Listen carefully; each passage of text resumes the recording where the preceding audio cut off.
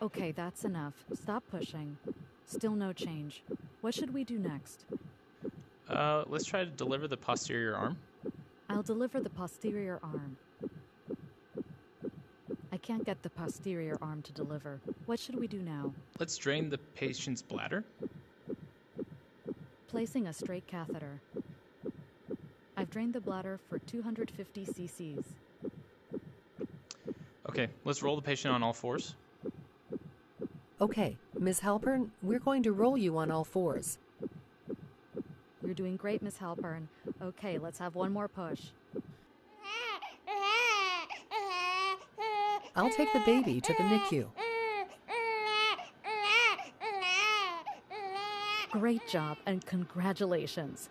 We're taking your baby to the warmer for a thorough exam and then we'll bring them back to you. Let's get you lying down again. We'll deliver the placenta and check for any tears.